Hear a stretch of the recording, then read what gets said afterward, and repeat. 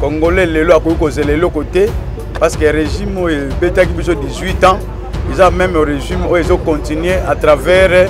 mwana mosala na ye nde tolobaka kaka monsieur oyo azalaka travailleur ya monsieur oyo auta kozala awa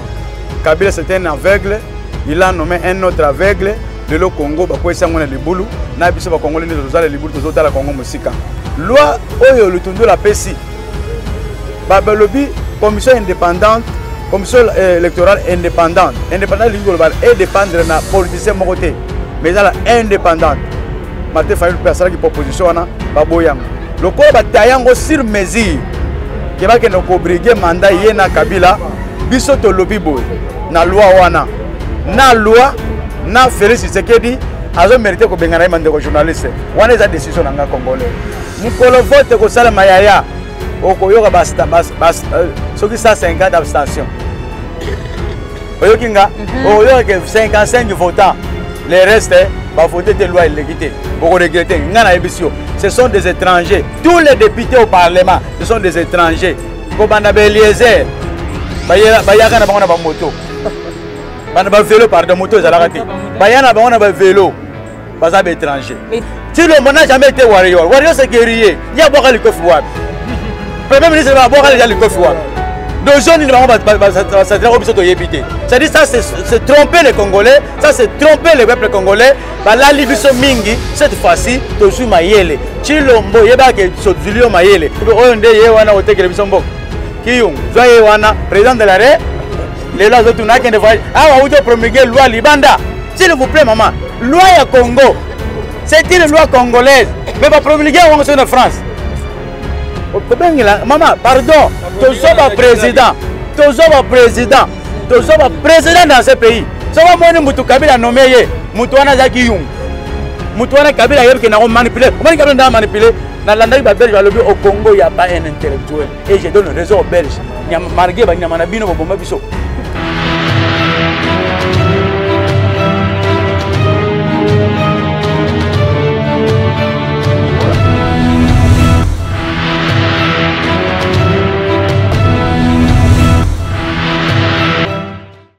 mbote balandi ya océan du congo tv ezali bongo ba bino cadet moswamba suki ya sula patriote esengo ezali mingi koyebake boza vraiment branché na émission na bino bolingaka vérité ya mboka congo toujours na souci ya kobundela mboka ya koloba bosolo na oyo etali mboka congo tolukeli bino lelo papa océan oyo wapi tokobeta nde masolo ya politike ya mokolo mwa lelo ya mbona nyonso nake kotonda équipe technique momba ya océan du congo wana na nsima ya bilili nake na komona herve kabu ya l'homme puissant on ne change pas l'équipe qui gagne pamba te nde moto asili kosala ete tokomela bino ya bisika nyonso bosili kozala na ngonga oyo papa oseya mbote na yo mbote mama journaliste boni sante oui très bien très bien sante na nzoto eza bien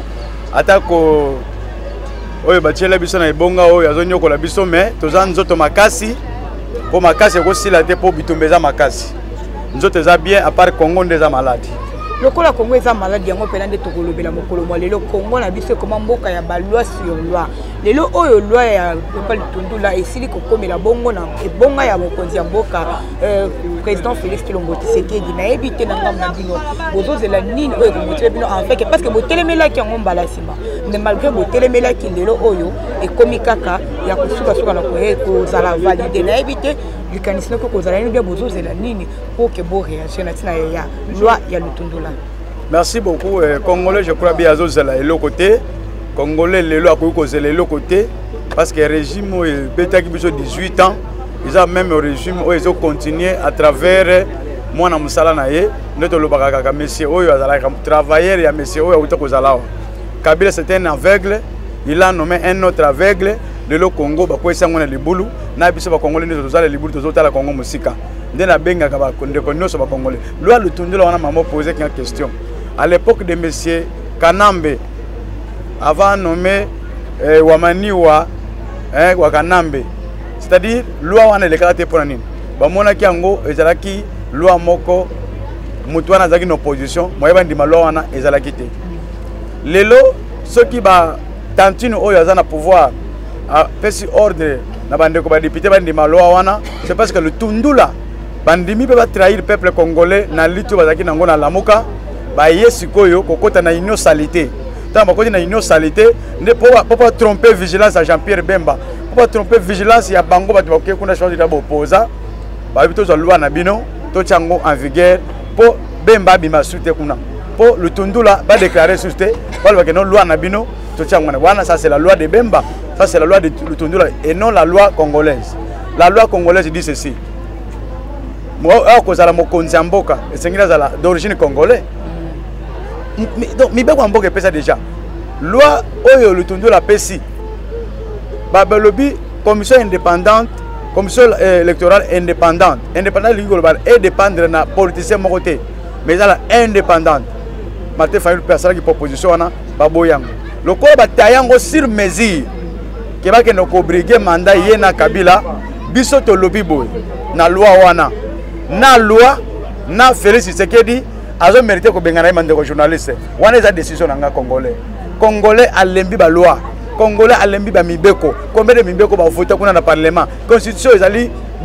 balegislateur bato basala yango mais monsieur félix eliki arespectaka yango nanu te nde loi oyo batia korespecte c'est-à-dire akokóma na seni wana neti seni ya ye ndenge camarade na ye oyo aza misu milai misu minene ya rwandais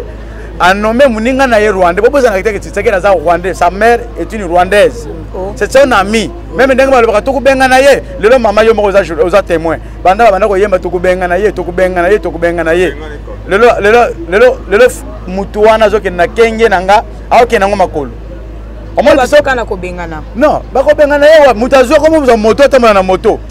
ozomonano aza libre mais bango ntango bazalaki na ngambo wana balobaka ke soki bakoti kabila rwanda balobaka soki bakoti kagame wana bakolimusa na mokili oyo mais lelo les amis ya barwandais lelo ezali baluba na idps après epuis félix tshisekedi wamaniwa wakanambe bami na ye ntango azobenga moto mon frère ça veut dire quoi ça dit beaucoup non il y a un amour mon frère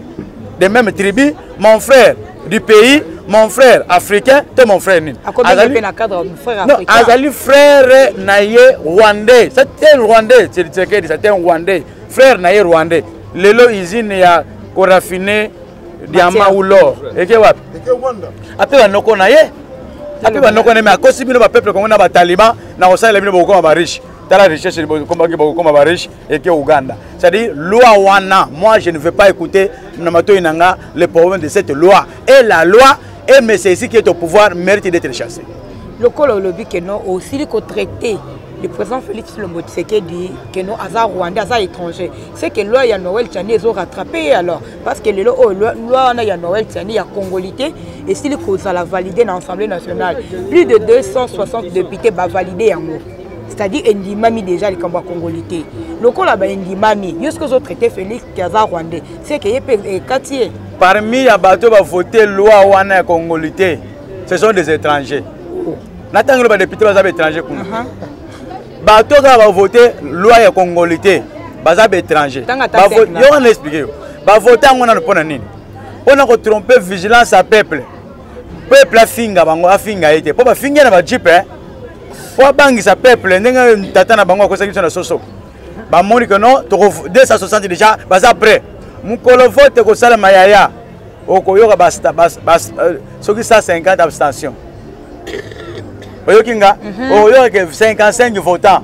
les restes bavote te loi eleki te bokoregrete nga nayebisi yo ce sont des étrangers tous les députés au parlement ce sont des étrangers kobanda baeliezer bayaka na bango na bamoto bana bavelo pardon moto ezalaka te baya na bango na bavelo baza baétranger nalobi moto atya badepute wana eza joseph kabila kabange ezali kanambe ano mama ngai napona depute moko te kuna na parlement ezali joseph kabila kanambe moto anoma bango monsieur oyo mpe aza na pouvoir lokola moninga na ye aveugle moto anomaki alobi zwa kaka oyo ngai nanomaki oyo obengaki bango badepute nomme oyo kaka idps abengaki badepute fabrike zwa bango kaka wana komisa bango badepute na yo bakolia ye te bakolia félix tshisekedi bakaka badepute wana bakolia ye na tokomi na ngongo bakolia ye te soko baofuela ye eh, bazosherire ye mai ntango tokoma donc bazolia ye mbanga mai soki tokomi na lidusu oyo tokomaka wana yo koyoka mikolo ekoya liboso oyo ekosalama na mboka na biso ce sont des étrangers etiani Chani azali muluba bango na bango ba étranger na Félix Tshisekedi Chani eza ba distraction azoyela biso amoni biso tozotelemela loi ya électoral ya elingi ayela biso loi mpo endormir biso na ye Chani na bata na ye bakokima mboka oyo ce sont des étrangers numero 1 eza ye ya changer nationalité Chani aza na double nationalité non comment il a donné euh, euh, la, sa candidature Amikati à la présidence Alors, Amikati Yemoko, et Bissot Lobi, loi, on n'est pas contre ça. Mais nous appelons ça, c'est une distraction. biso toza focalise na ko makambo ya felix tantine felix tshisekedi oyo azosala azonyokola peuple azopromettre peuple soso esengeli ezomérite kobengana ye soki nazoloba kobengana mama kobanga te eza peuple article 64 elobi congolais nyonso aza na droit atelemela mokonzi alingi kozwa bokonzi na makasi congolais mpe aza na droit abale route na moto aza na bokonzi azosalela yango na avantage na desavantage ya peuple sedi tokobale route bale route na senaville soki tomoni nzela batia banzete balobi yo leka donc même les, les élections que vous parlez en 2023 mais c'est félix tsekedi tsekedi azo mérité kozala kokoma ntina 2023 te il faut peuple kongo toza mesure na ye kaka lelo parce que nzala oyo naza nango nana biso kokoma na 2023 soki yo olali nzala 3 jours makolo ekolenga yo 2023 ozo calcule mama leki na ye akomi na 2023 nganga na ye akomaki 2023 tata leki na ye ya sango awuti kolia ye akomaki 2023 nde ye akokoma 2023 oyo o preparaka ya yo mais ya nzambe eza ya nzambe biso bakongoli tozolala pongi te nous parlons pour notre terre nazali kasongolunda nazali muyaka nazali kolo mabele oyo nazoloba j'ai droit mais ce félix tshisekedi akolekaka te peuple congolais azomerite kobengana ye loi wana mama toza na mposa na yango te o oh, komarche mpo na loi wana tolobi komarche na biso tokokita na nzela na koloba te oyo tokomarchele te oyo tokosala nini naso bombi secret na nga tokozala na nzela moi ndongo olobi tokozala na nzela mpo na loi wana bozela biso tokoya mpo na loi bozalaka na nzela me banda bobanda kozala na nzela tomona mpe changement moko te kozala na nzela aire nyonso kozala na nzela est ce que kozala na nzela nde komema changement na makambo ya loi wana papa nazwa mwasi moko boye nazokosakosa ye nakosikosi ye nakosi me mokolo oyo nzambe akitela ye alobi hmm, yo ya aventurier akenda amoni felix tshisekedi na kabila kabila akosaki biso te 18 ans militaire suka na lelo eza wapi Monsieur Félix Tshisekedi akosi, d'abord il est licencié en mensonge. Est-ce qu'un président de la République d'un pays akoki kotinda gouvernement na ye bapromettre peuple soso e peuple wana peuple wana na monde obimisi ye nani obimisi ke eza peuple ya nzala meme soso apamba akelelaka yango c'est-à-dire monsieur oyo s'il vous plaît madame ce monsieur ne mérite pas d'être président de la république ce monsieur ici ne mérite pas d'être un président de la république à cause d'un gouvernement de warrior qui, qui est warrior Tshilombo n'a jamais été warrior warrior c'est guerrier ye abwaka likofi wapi premier ministre abwaka deja likofi wapi dojo nini bango basatirako biso toyebi te c'est-à-dire ça c'est tromper les congolais ça c'est tromper le peuple congolais balali biso mingi cette fois-ci tozwi mayele chilombo yebaka tozwili yo mayele basecret na biso tokoloba yango awa te mama journaliste oza liboso ya baecran tokoya marche hein tokoya marche mais nasengi congolais nyonso longola kibomwasi mokolo yango tokolata sexe sexe masculin soki congolais balati oyo sexe féminin cette fois-ci lata sexe masculin oyo nalobi na kimokolo na politike yango wana tolobela mpe na likambo ya banomination sur nomination na mboka congo lelo oyo tobenga yango nini guerre tribale ou soit eza nini lelo oyo tosi komona lisusu Madame Moulango Kabedi Mboyi, la poste et la Banque centrale DG, la nouvelle DG et la Banque centrale du Congo, on a habité et c'est l'un des parce que le bain mingi, karabalouba, karabalouba, est-ce que ça poste clé de la balouba, balouba, balouba, Merci maman. natanga yango mpe na miso na yo bakongole baza mpe bakoyoka nga mpe baza pembeni balanda yango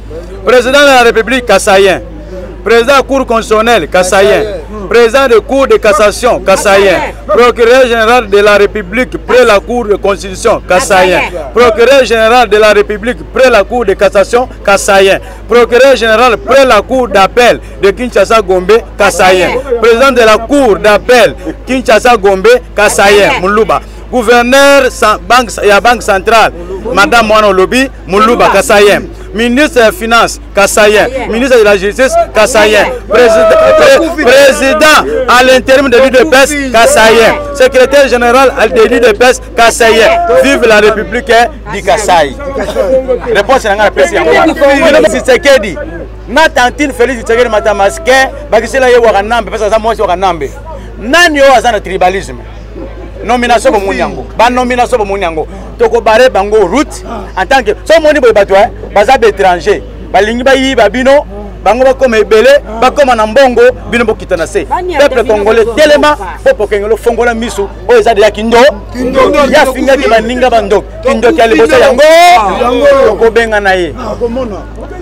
koloba ke no eh, azonome kaka bakasa mais jusqu'alors tomoni mpe na kasa yango asani eloko ya malonga te c'est parce que est ce que bakasa nyonso bazonome wana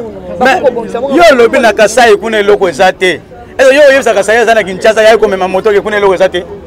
ils ont oublié que non na kasai kote bawutaka lelo tempete moko euti obeta kuna oyo tobengaka banani naturel euti obeta nalandi bato na kasai bazole nalobi tozangi aide peuple congolais bino boza bapeuple congolais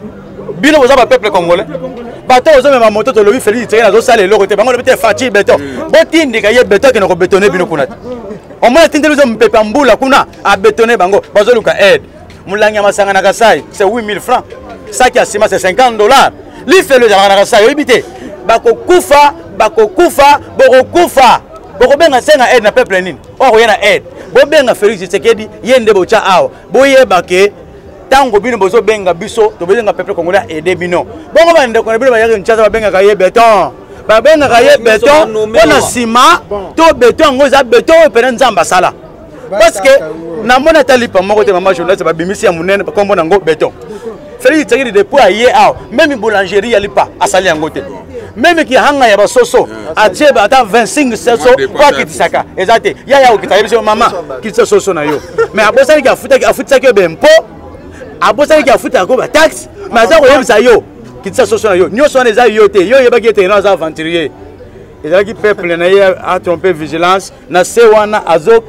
azotraite baaccord na kagame koto likolo atie biso soso ekiti soso ekiti baoyo banata bamoto te tokolia na yaye oyo aza wana alataka pantalo minene abina awa yo tokolia soso natunaka ye tokolia soso eloko ekita lelo mbwa me soso te osilitere biso bapeuple congolais tomoni na biso yango te donc ezali bandeko oyo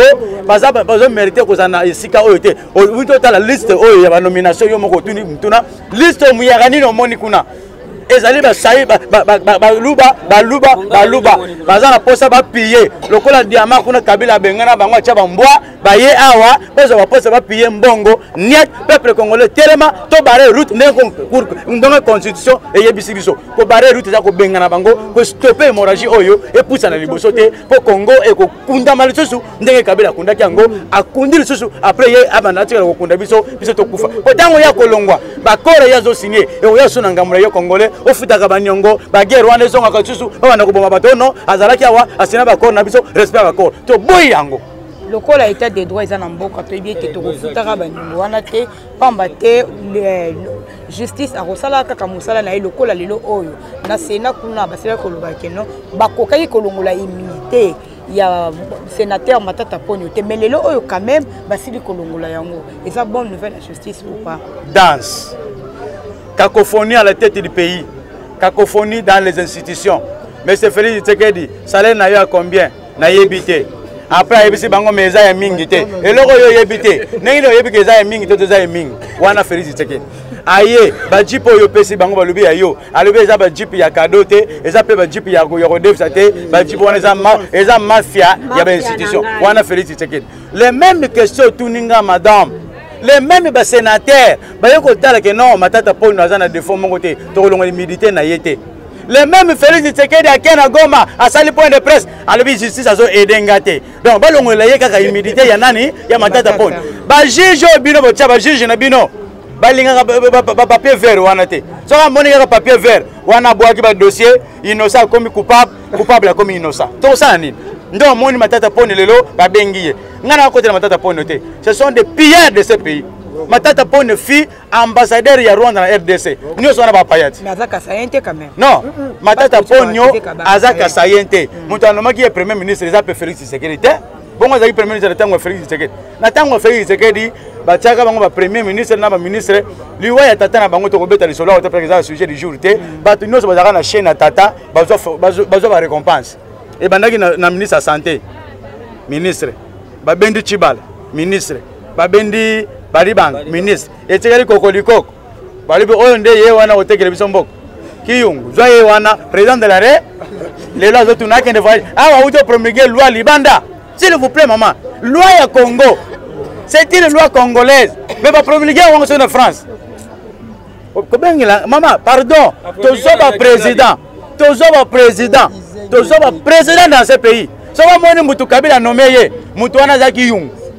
mutu wana kabila ayebi ke nango manipule omoni kabila ndaa manipule nalandaki babelge balobi au congo ya pas un intellectuel et je donne raison au belge margie banyama na bino boboma biso bino bosali ke bomanipulaka biso ya pas des intellectuels au congo kabila azwi bato batanga nyonso nsima na ye bango na bakoma opesa cour azomona bango bana mike olobaki ya des intellectuels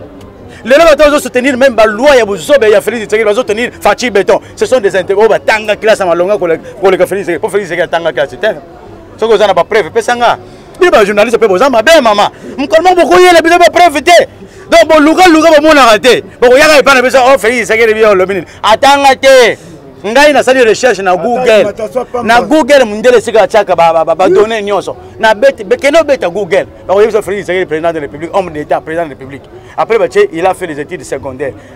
aza diplômé na option nini eyebani te asala licence to doctorat na science nini eyebani te ntango aprete serment na serment ya président de république yango batangaka biloko nyonso na bakalite na ye yaya bakoma wana basoto bu tinaka mwana nsapo ye wo mais je vous dis je vous dis eloko epesanga mpasi yango wana kabila soki omoni aswazir mutu ayebaki kopona ayebi ke oyo nakomanipule ye butu moi nakotambola na velo nakotambola na moto akotika kosala ngai eloko te c'est-à-dire mama eloko nakoyebisa yo na nyonso oyo otuni ngai congolais zala kaka pre mpo na kozwa destin na yo en main na nyonso wana tozwaka destin na biso en main quand je dis prenez notre destin en main lelo bana na biso toprépare avenir na bango te toprépare nano ya biso moko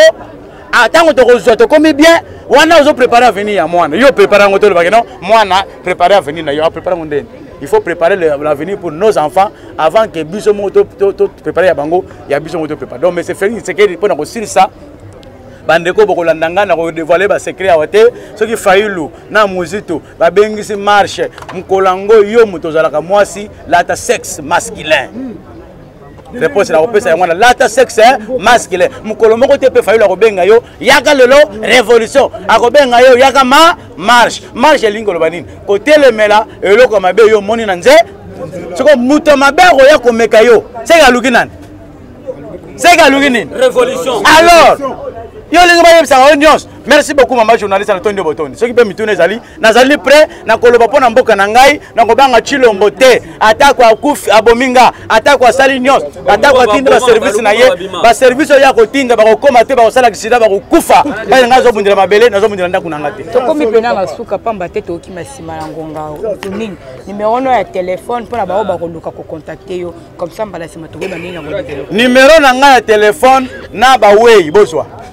Lumumba azwa numero oyo. Ntango bato ya Felix bakobenga ngai okata numero wana, apele wana ekoma epa na ngai te. Numero oyo Kimbangu zwa yango. Mama Kimpa Mvita zwa numero oyo. Nazolamusa bino bosekwa. Mabele oyo ngai natelemeli eza mabele na bino. Mabele oyo ngai natiki ndako natiki nakenda meme na mosala te mpo na kolobela mabele oyo ya bino bobundailaki. Biso toza na mposa tobunda su te. Biso toza na mposa bitumba bino bobundaki to bokomaki na suka. Biso sikoyo toyei kosukisa yango.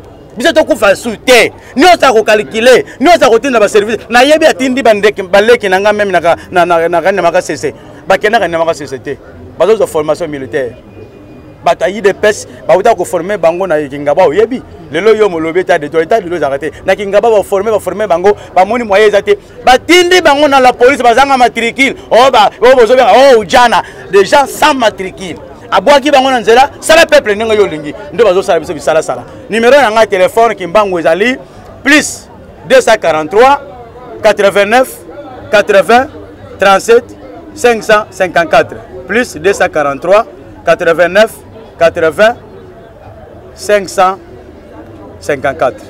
merci beaucoup merci beaucoup na bino nyonso bozwaki libaku ya kolanda cadet mosamba na émission na biso ya mokolo mwa lelo vérité ya mboka congo je vous dis bozala toujours branché na émission vérité ya mboka congo mpe lisusu na chaîne océan du congo pamba te yango nde ezopesa bino basango lolenge esengeli na ntina ya mboka congo rdc soki eza mbala no ya liboso ya kotala biso kobosana kosabone kolike mpe kopartage bavideo na biso te mpamba te kozangaka actualité ata mokolo moko te voilà je dis un grand merci lisusu na équipe technique mobimba je remercie aussi mon abonné fidèle ya océan du congo ben mwamba le pouvoir et aussi héritier oleko